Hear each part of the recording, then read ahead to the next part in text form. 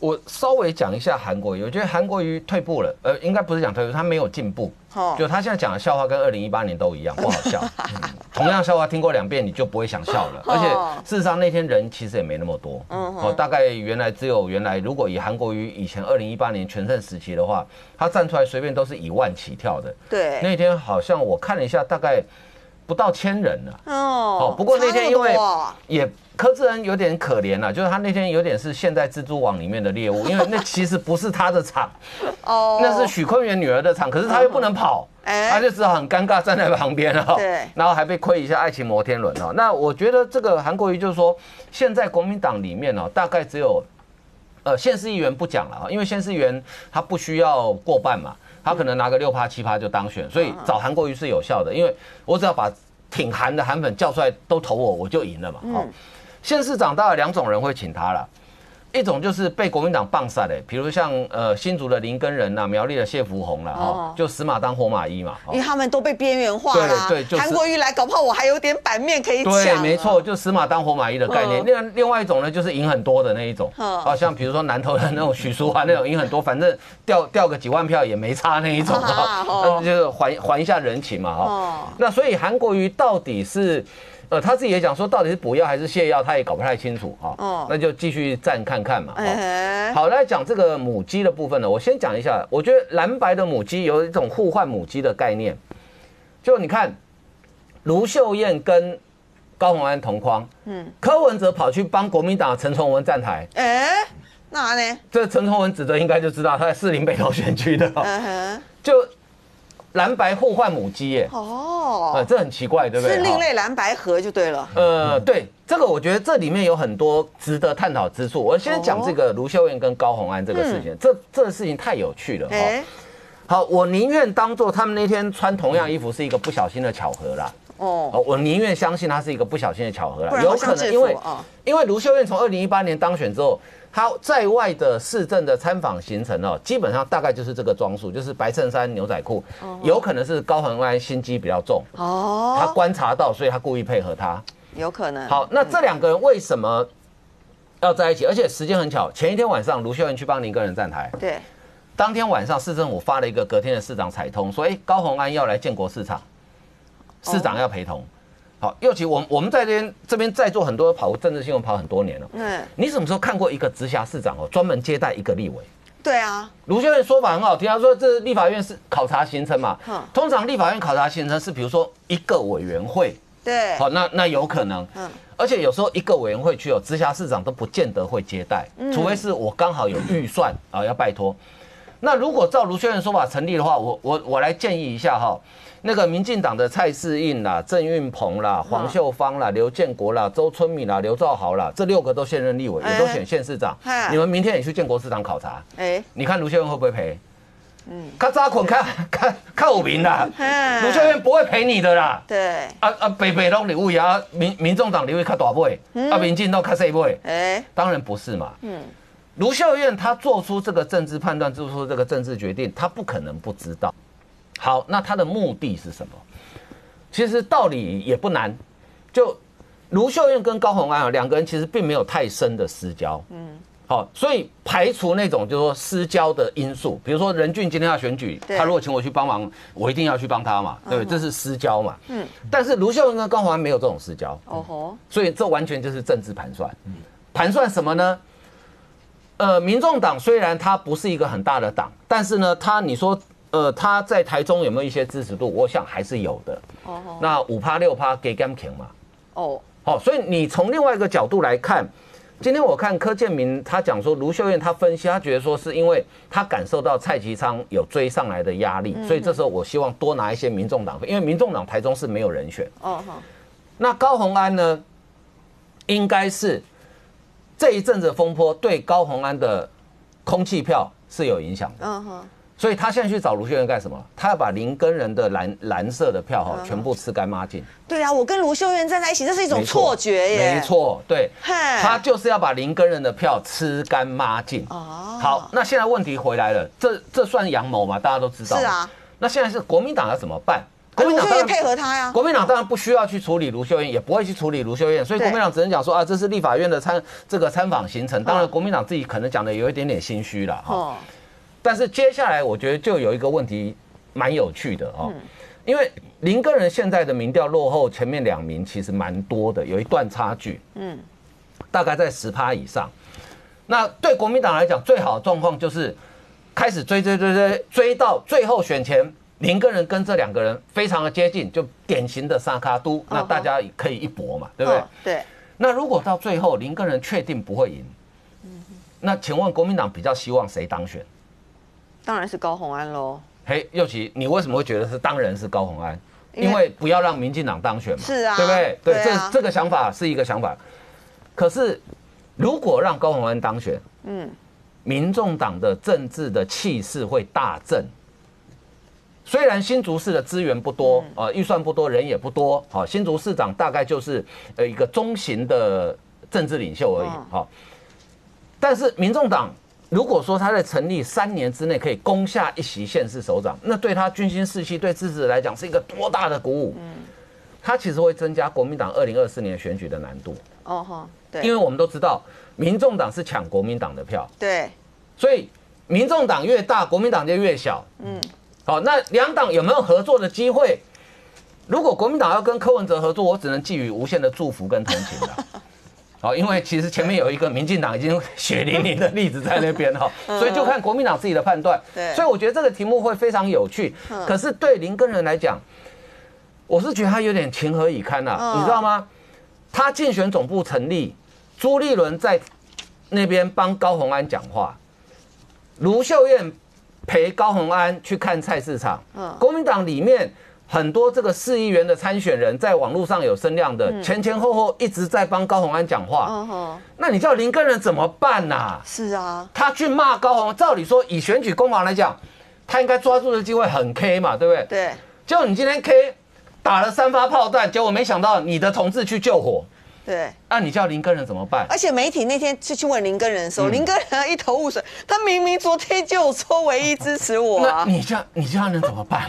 啊，他又管不住卢秀燕，对？而且这种事情卢秀燕也不需要跟党中央报备嘛，对对不对？所以我觉得我现在开始其实越来越同情林根人了，因为我觉得他跟谢福洪就苗栗县提名那个哈，原本都是八人花轿抬进门，明媒正娶进来，结果现在没想到现在已经变成小三了。啊，原配呢不晓得是哪里冒出来的，有一天回家突然发现说，哎，怎么家里主人女主人已经换人了？他们两个大概就是这种情况，所以这个是国民党将来哈，在今年选后，甚至在选举前就要面临的一个抉择，特别是新竹，因为苗栗来讲，因为中东锦虽然被开除党籍，但是再怎么样也是自己人嘛，对不对？但是新竹。这个选情最后谁当选，它其实会牵动到国民党跟民众党未来的互动。韩国瑜到底会有什么样的威力？我必须要说，蓝绿啊都是已经选到没什么牌嘛，对，像那个新竹打高安也打到嗯山穷水尽了，不知道打什么，所以这个礼拜就没什么打。但是呢，韩国瑜永远都会有生梗的能力，嗯，所以蓝的需要他，需要他去搅乱一池春水，特所以委员说，哎，你柯志恩讨论度都变高了，对，就是要去搅乱，不然柯志恩民调现在落后二十八，真的是很难玩的、哈 他本来没落后那么多，但是因为长期高雄就已经就是后来我们选举重心从七月以后就是在北部嘛，对北北基竹桃竹这样子。其他地方都没有新闻，那柯志恩这么喜欢嘴炮的人都没有新闻，嗯那他要怎么把自己优势发挥出来？所以不管好新闻、坏新闻，只要有梗就是新闻，嗯就是这时候柯志恩的突破方法。所以像这种选区一定会找韩国瑜，再来就是正宗韩系，哦比如说南投嗯许淑华、桃园张善政，这个最后一定会合体的。哦好时间点，那就我所知，张善政那边呃基本不排斥，但是。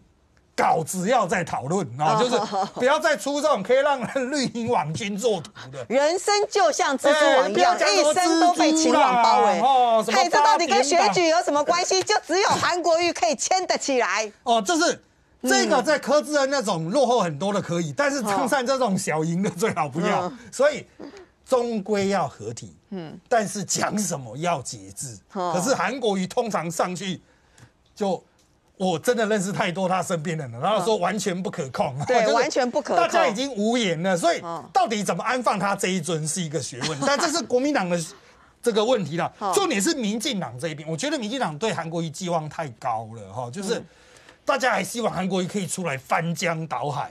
哦彻底改变现在的盘，因为我今天听到最新的评估，包括民进党内部也是觉得大概只有五席比较稳。嗯只有五个县市比较稳，其他县市还是要力拼。嗯，啊，讲白一点，都现在民调落后，所以韩国瑜如果出来讲了一些话，唤起二零二零的回忆，哦哎，会不会有一些机会来一个变盘？哦哦，这是民进党的寄望。可是你从韩国瑜去，他已经付出了两个礼拜了哈。嗯。他一路讲下来，你都可以发现呢，就是另外一边可以提款的东西，营造这种仇恨值的东西不多。他还是嬉皮笑脸，但他顶多就是吸引目光的作用，吸引韩粉说“我回来了啊，我还在讲笑话”。可是你说我要去仇恨韩国瑜，现在讲的，我要去广泛的嘲笑，引起一个社会，比如说大量的迷因图，我觉得都太难。哦哦，这个就是现在韩国瑜他已经开始有点收哦，那稍微有点节制，但是回归根本啊，选举这种事情最好不要把主动权交在别人手上。韩国瑜要出来乱讲话，那也是韩国瑜自己的选择，这个可遇不可求。民进党如果要尽速的掌控、重新掌控选举的主导权，还是应该回归根本。你不要说。呃，这个网军已经没有在乱啦、侧翼没有在打了，可是陈时中也没有在干嘛，早上还去被骂，嗯这样是不行的。你的选举到底你想呈现给人家什么？如果是专业形象，你到底要什么时候端出来？我觉得对于民进党参选人自身来说，这才是最重要的课题。你不能再寄望在别人的错误之上。哦其实最大的变数其实是韩国瑜啦。哦哦哦，因为韩国瑜的出现哦，让我们大家你看，光是前两天他到那个高雄前任议长许公元的女儿这个竞选总部成立上面，他光是随随便便讲的那几句话，你看，呃，引起讨论两三天。哎那国民党内内部，他们每一位县市长候选人，哎，既期待又害怕。大家哎，又希望说韩国瑜是不是能来？呃，希望沾点韩国瑜的人气，但是他们又害怕哎，韩国瑜哪一天又讲出哪一些话哦去影响到他们。所以到现在为止，大概只有韩国瑜是他们最大的变数。而我是认为说，吼，各政党不管怎样，既然要浮选，就让最强的出来吧。哦国民党你就让你们最强的韩国瑜出来，哦，更何况张善政，我觉得张善政在这个部分哦哦，他语带保留哦。嗯张善政已经二十二日，十月二十二日就要成立总部了。再问他说你是不是要邀韩国瑜来？说实在话，张善政应该第一时间，第一时间就举双手说，我一定。呃，热烈邀请韩国瑜，欢迎韩国瑜来我的总部成立才对。结果，哎，张善政竟然语带保留，说他会挑呃最恰当的时对间。我觉得基本上从这个就可以看出来哦，张善政在为人处事方面哦，他忽略了过去在选正副总统的时候，韩国瑜邀请你担任副手候选人呢。嗯，你照说，不管韩国瑜的影响是正面是负面，怎么说你都要让这一位你的好战友、老战友。第一时间内来一起参加才对，不管他的效应是好是坏，所以可见张善政哦是颇有心机的，他还在盘算在哦这个计较当中，更何况他二十二号总部成立，哎，他们先前国民党不是宣传吗？说要这个呃燕子哈哦汉字跟这个韩国瑜他们一起出现，要三子合体。哈结果到现在为止，人家侯友谊、卢秀燕都确定要去了，而你张善政，你当主人的还没对韩国瑜做任何的考量跟邀请。嗯，那韩国瑜确实有他的两下子的。我过去形容韩国瑜后，我说韩国瑜是从嘴巴先生出来的啦。嗯，哦，他的口才确实是一流的。当然有很多人批评，包括他们国民党里面这一些精英团体啊，过去的这些宫廷派都认为说啊，韩国瑜你讲的这个啊，都世俗的太俗了，哦，都太底层的这些话语，所以有一点瞧不起他。但是你不可否认的，韩国瑜确实口才是好，虽然他那一天比喻高雄的一些比喻，把高雄市长的选举比喻成哎这个连续剧哦这个这样子的八点档连续剧，虽然这个比喻并不是那么妥适恰当，可是，在一般我们市民的心目中，哎，一下就听懂了，而且会对他的这个形容会心一笑。那这样的情况就有达到他韩国瑜想要预计的效果。哦那这一点在国民党内，他们自己没有察觉到，这样子来对选举，呃，对选情其实是会有相当注意的。哦所以国民党哦，是我敢说，国民党是这个坐在宝山上的乞丐了。你们有一个宝山。韩国瑜，那已经选举剩四十天，你们不好好用，那选举选到说还必须靠呃这些呃县市长用这种类似苦行的方式，用这些提不出任何诉求的方式，只会一味的批评民进党中央的执政，用这种方式来选的话，我想国民党已经败相已露了。你怎么看这个韩国瑜这个现身哦？嚯、台上金句连连呢。韩国瑜哦，说实在话，他出来的话，我我觉得哈，你还是不要复出政坛好了啦，因为看起来那个就是还是一个老顽童、玩世不恭的样子嘛，对不对？哎、无定无丢啊，对不对？你今天出来这个竞选场合，对你今天要炒热气氛，你可以讲一些好听的、好玩的东西、有趣的东西，对不对？可是你一开始切割你的爱情摩天轮，你都已经几年的事情了，你还在提爱情摩天轮？嗯，你说你要一个振兴一个婚纱街、一个婚纱产业链什么？哎、台北跟高雄有多少婚纱一条街到现在都没落了？嗯，而且我说实在话，今年北中南除了南区高雄、台南可能或屏东有人会去爱河去拍婚纱照之外，哎、我跟我女朋友从来没有去过爱河，我是假霸行营，我要结婚的时候照去爱河拍什么婚纱照？你告诉我，对不对？而且那个没有怀念、没有纪念、没有任何任何的意意意仪式在里面嘛。哎，他是念念不忘爱情摩天轮。对啊，哎所以我就觉得他很奇怪，你到底在念念不忘这个爱情摩天轮干什么？你到底是心里有什么障碍还是怎么样，对不对哦？好了，他又讲了很多金句啊，他讲说蜘蜘蛛了，他说什么情网紧紧的捆起来，对不对？没有人可以跳出亲情、爱、友情跟爱情。哦，我真的要讲清楚，你拿这个比喻真的是不伦不类啊。哦，因为蜘蛛紧紧捆起来的那个叫做食物，叫猎物哈，它是不带任何情感的啦。我都是赶快把它推落去你啊了，对不对？所以你拿蜘蛛来，你要扯到这些情感的话，真的也对吗？好，那你说陈其迈好了，他说陈其迈就是第一台的连续剧，对不对？大家都知道都固定了、结局都怎样，大家不要看了、对不对？那可是你要知道哦，这就表示你你你对台湾的本土剧没有研究嘛，嗯对不对？哎，台湾的本土剧现在都叫长寿剧呢，甚至可以演三百多集的哦。嗯啊所以你拿那个本土剧来形容的话，你不要意思就是告诉你说陈其迈技巧演落去嘛，对不对？对啊所以我就跟你还是另外一个说，你会知道会下档会换档，就是因为你编不下去了，嗯好对不对？那你如果陈其迈到了这个地步嘛，如果真的到这个地步的话，选民当然会把他换下来嘛，对不对？嗯那你觉得你换了一个那个柯志恩上来之后，新上档的戏一定会好看嘛？你也不敢保证嘛，所以这个就交给选民去决定嘛，你。而且如果陈其迈做得好，这戏演得好，为什么要换呢？对呀、所以那个那个好家贫如潮，或者是说什么高潮迭起，对不对？所以我就跟你讲说，这个他的比喻真的不恰当了。嗯好了，他又讲到说什么台湾应该是什么政治中心是台北，对不对嗯？最有钱的城市应该是高雄，那你不是在分化吗？为什么最有钱的一定是高雄，不能是台南，不能是台中吗？甚至是彰化也可以啊。所以我就跟你讲说你在。站台的过程之中哦，对了，人看到你昂阿桃哈，然后哇欢声雷动，因为那韩粉啊、摩斗啊，这个我们经历过嘛。二零一八、二零二零的话，韩粉就是这副德性啊。那那那说实在话，你今天出来的话，我们站在一个评论员的角度来看的话，发现你根本没有做任何改变，你还是以前那个韩国瑜。那以前那个韩国瑜就是不适合担当大任了、所以你说你如果把这个这个站台当做是个试水温，你回复政坛的那个水水水温计的话，那我可以告诉你，那你是没有了，对不对？因为你没有做任何改变，你还是只会讲这些。阿阿萨布鲁乌威博威名家了，对不对？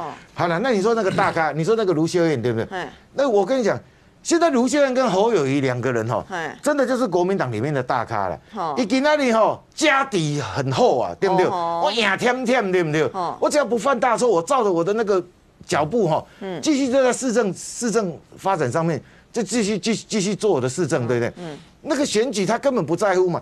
你说侯友谊今天竞选总部他找大咖，哎，外力共一起拍摄共你了哈。他是说什么市民是大咖，市民就是最大咖了。其实他是不好意思讲，我帮他讲了，他一定讲说下人高我比，我今晚我都想大咖了，对不对？你个扯什么咖来？而且他他今天为什么他敢说他是最大咖？很简单嘛，我今天我今天是行有余力去帮助其他候选人呢，不是其他候选人来站台呢。又不是其他人来站台，你说你今天马英九、朱立伦还是像一来改徛台，反正伊本来赢赢赢三十万票，好你一徛了后，阵赢二十万，啊，佫徛一届才存十万，对不对？所以他根本不会说，哎，我懂你想我卖来啊，对不对？我就可以占别人的台，你们大家都不要来，哦，顺顺他，得后哈，他就说顺顺啊，就过关了嘛。啊，像卢秀燕也一样啊，嗯，卢秀燕现在也是一样嘛，所以大家才会见缝插针说啊，你跟国民党的关系的，啊，你跟民众党的关系的，那很简单，那卢秀燕会受影响吗？当然不会受影响嘛。那卢秀燕的观念是什么？啊，你选举比说选到无朋友啊，对不对？你跟哪里朋友来，对不对？有朋自新竹来，我当然是牵着你的手，而且是闺蜜的样子啊，对不对？所以这个很简单，这个解释就很简单。好了，那我们讲回来这个台北市哈，台北市这个地方哈。你看那个、那个、那个蒋万安，对不对？我这是现在就很担心，他说你现在台北市的一个变局最大的变数就是十一月五号的那个电视辩论啊。对，因为你这个政见辩论，我之前一直讲说哈，在这三个人里面推出来的一些政策，虽然蒋万安后来又迎头赶上哈，也推出一些政策，可是他推出来政策，公勤奖还不登大雅之堂了。嗯，你现在要深蹲呐，要什么免费公车？当然这个不是你的政策，你只是说我可以提出来说。简单简单，大家参考一下嘛。好了，那大家真的现在去笑一下。现在每个所有的议员参选人有没有？嗯。还有那个市长在，哎，起码他打开那个放深蹲对吧？哦，打开那个蹲，各种姿势都有，对不对？哦，黄珊珊还跟他讲说，我的扎马步扎的很稳，我打刚连气刚。好了，那大家就变回笑谈。那可是笑谈，你对陈蒋万安的选情有影响吗？嗯。我只是想问问大家。既然风行草偃，大家拢过来在地的时阵吼，讲真正，大家触鼻触鼻啊吼，搞不好对蒋万安的那个支持度或者他的印象还有一个改变呢。嗯，那我是觉得陈时中最近就一直在失分了。哦，他包括说那个马斯克那个事情的话，我之前就讲过嘛。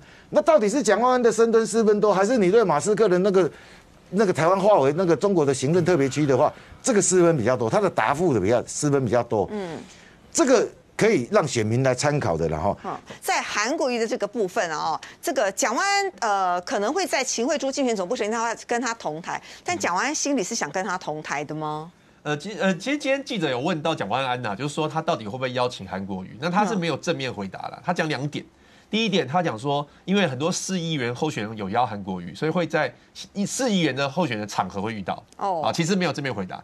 第二个，他是说他很多行程都还在规划当中啊，会再跟大家报告。嗯，所以大家就非常好奇说，那蒋万安到底会不会跟韩国瑜同台？同台就是直接在他自己的场合邀请韩国瑜。嗯，那目前我们我们国民党的市长的参选是这样啊，有的人就是已经都在邀了嘛，像谢福洪啊、王玉敏啊、谢龙介都都邀了，就是晃哥刚刚讲的啦，就是差距比较大的。那第二个就是大家好奇的是歌喉战的不的县市，比如说。台北市或者是桃园市这两区，人家会不会找韩国瑜？那蒋万安就我的了解是，他们也没有说死啊，然后也没有说要，也没有不要，我觉得还在观察当中啦。哦，因为韩国瑜忽然间出来嘛，其实就是这这阵子忽然出来，那到底它能够带来的效应是正分大于负分？其实这些人都还在评估。那很多人都用徐彩珍那一场来评估，我觉得一场不准啊，因为韩国瑜他毕竟就是离消失了一段时间。就是他的支持者还需要一点时间，就是慢慢把他的那种感觉找回来。那我觉得徐彩珍那一场，其实他我觉得他讲的不错啦，我认为啦。哦。我虽然说有些人在挑他说是不是让柯志恩很尴尬或什么之类，但是那个就是韩式风格嘛，他就有点开玩笑，就是他的他自己的幽默方式就是这样。嗯。所以无伤大雅，而且这一波这一两天韩国瑜的攻被攻击的点，我也觉得也还好。嗯。所以如果慢慢。韩国瑜透过一些小鸡的站台，然后可以让声势起来。我我觉得那些市长参选人会去跟他合体。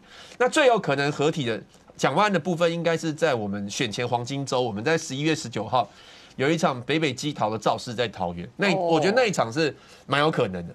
那十一月十一号，我们有一个六都参选人在新北造势的，据说他是不会过来啊。那这是韩国瑜的部分。那民进党当然就都很希望韩国瑜来帮大家站台嘛，因为我看到民进党的副秘书长就说，哎，韩国瑜应该要站好站满呐。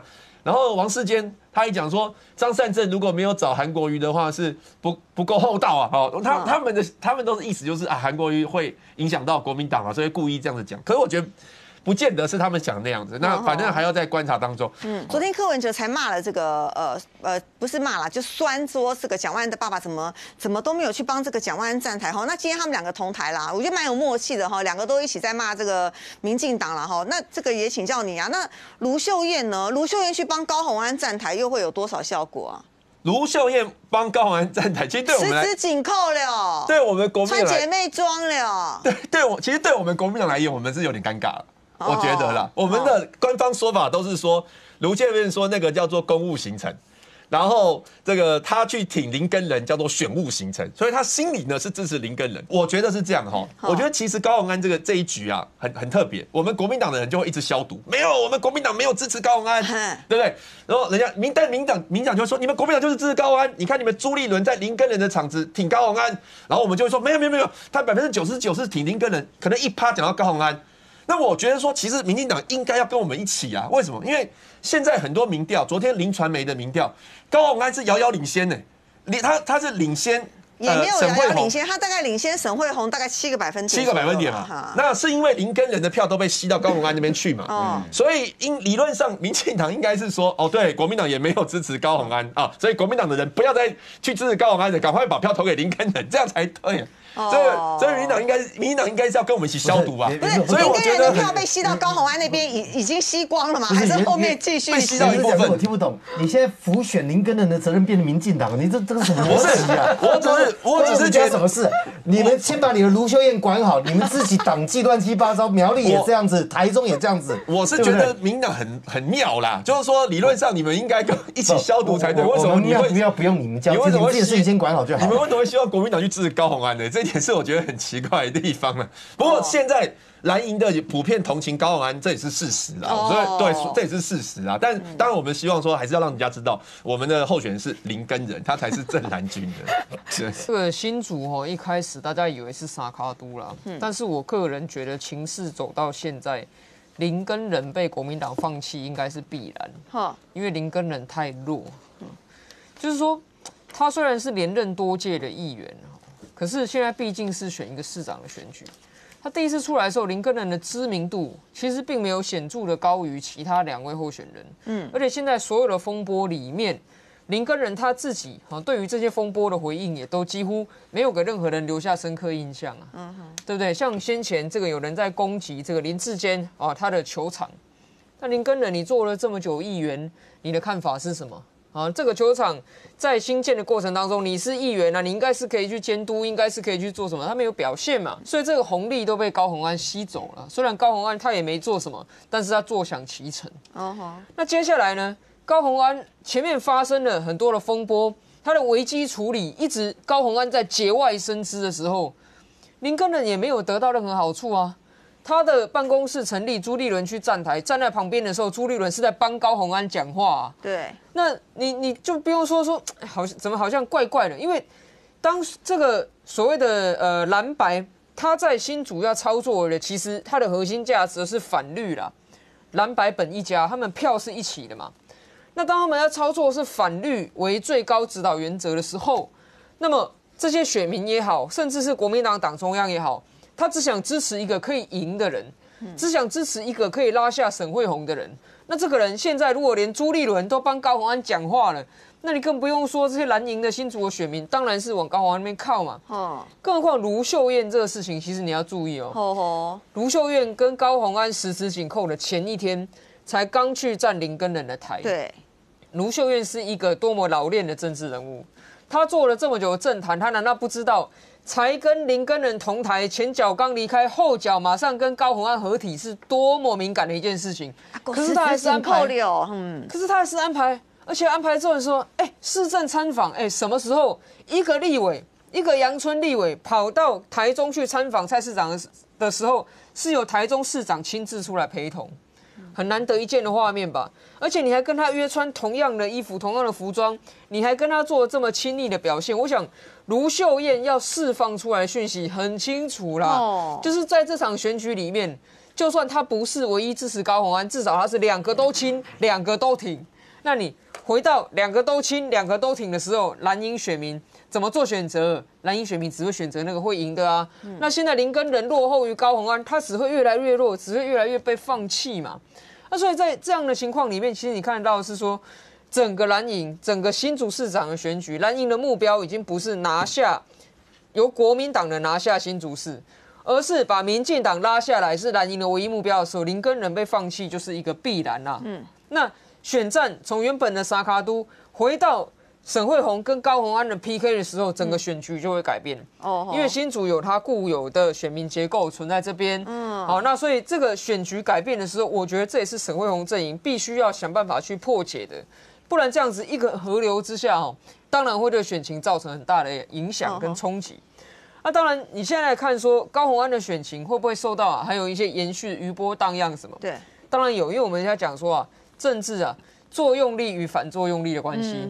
你过去批评别人打得好凶，打得好猛，正义凛然，同样事情发生在你自己人身上的时候，你怎么样嘛？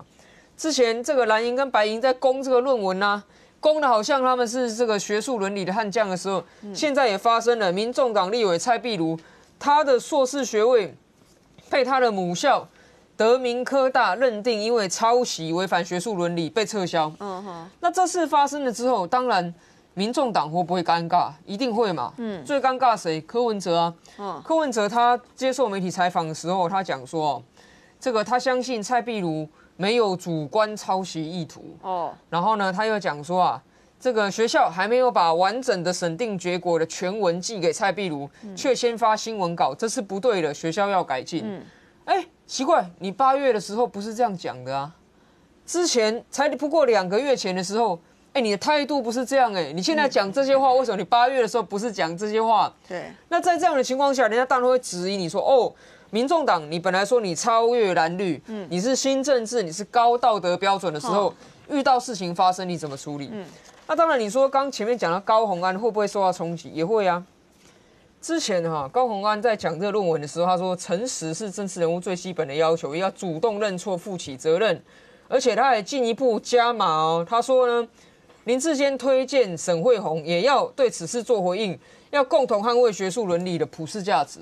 嗯，那现在事情有发生在他们党的这个蔡壁如身上，而且蔡壁如涉嫌抄袭的还包括了这个民进党议员简淑培的这样的相关的内容的时候，那高鸿安你过去这样的态度，当然也会被人家拿出来提说，哎，奇怪，你是到底前后有没有一致？你前后有没有这样子的改变嘛？所以我觉得选举大概四十几天了，后面发生的事情都还会很多。但现在在考验，尤其是刚刚前面讲台北，现在讲新竹，这些很接近的战局里面，到底这些候选人，第一个他的危机处理能力如何？嗯，针对这些事情，到底他有没有一个？呃，很明确的，可以当机立断，要做出正确的选择，要有正确的媒体应答，要告诉选民说他真正的价值在哪里。嗯但是第二个，长远的来看，政治是看长期的。嗯长远的来看，你主张的价值理念到底是什么？其实这才是真正考验一个候选人的。高虹安因为前面论文事件的时候，他因为这个而起来，这不可讳言，他是最大的受益者。嗯，可是当这件事发生在他们自己民众党身上的时候，他能不能够有正确的处理，有正确的价值选择，这也考验他啊。因为本来他是坐享其成，坐在那边选票就自然流过来了。可是这选票流过来是基于对他的一个期望跟一个想象。但是如果这个期望跟想象一一破灭的时候，这个选票也不会是永远给他的。他去跟卢秀燕手牵手去做这个蓝白河这样的一个操作，虽然一时之间林根人确实被打下来，你看韩国瑜帮林根人拍那个影片，也没有办法帮到林根人的声量有多少。一时之间，虽然好像高虹安越做越大，哎，可是你从蓝那边拉来的，当蓝不要给你的时候，你马上也是回去啊。现在在力挺高虹安的蓝营的许明才这些等人，难道他上任之后还会要继续力挺他？那是不是在地下？当地下的市长，而高虹安只是个表面的市长，这些未来他要怎么去面对？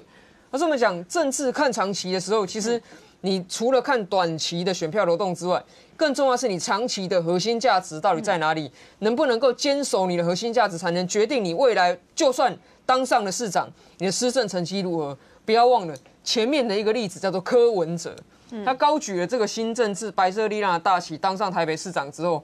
一路左摇右摆，随风摇摆，晃来晃去，嗯，走到现在八年来，变成市民满意度最低的一个台北市长。嗯哼，这样子的血淋淋的案例，其实就在眼前。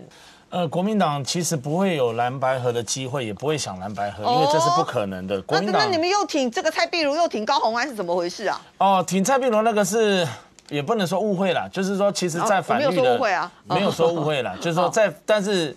一是一个很吊诡的氛围，在反绿的氛围下，呃，认为说民进党如果在这方面，因为民进党是执政党，国民党跟民众党投为在野党，嗯，那在这个节骨眼上，当然是批执政党了，不会站在这个这个好像批在野党打落水狗的这种状况，因为国民党也都碰到这种蓝绿白都有这种情况，蓝绿白五党籍都有这种论文的争议嘛，那这个时候在反绿的前提下，你不教训一下民进党，你不趁机打一下民进党，可能手跟脚都会痒一下。哦，所以这个你就可以解释，从台北市到桃园市到这个台中市啊，各种好像跟民众党扯上了一个些关系，包括高鸿安的事情，呃，蒋万安的发言，朱立伦的发言，或者是这个呃基隆市国民党提名的市长候选人谢国良的发言，感觉上你们这呃怎么在帮民众党讲话？不是说帮民众党讲话，而是不爽民进党，是反绿。教训民进党，所以你不手痒不脚痒不踹一下民进党怎么可能？但是踹一下民进党的这个后坐力跟政治效益呢，那又是另外一回事。可是你要挺对人呢，呃，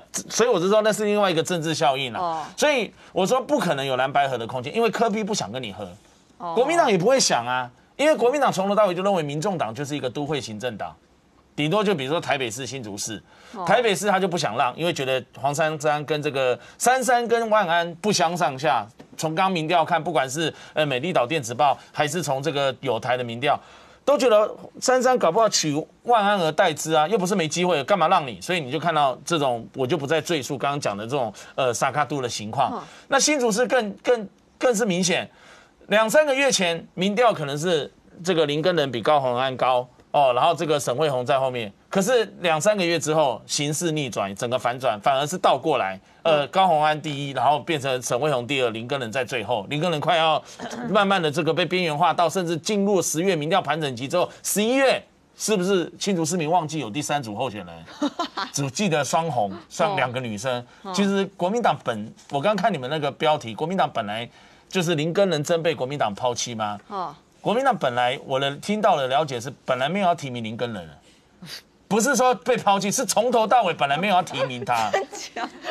我不客气的爆料，真的是这样子啊！本来是要让给高鸿安哟。不是，我记不记得半年多前，哦，曾经有传出一个翁小玲这个名字，有没有？清大副前 NCC 委员，清华大学副教授，哦。这是在党中央属意的人选，跟朱立伦关系也很好。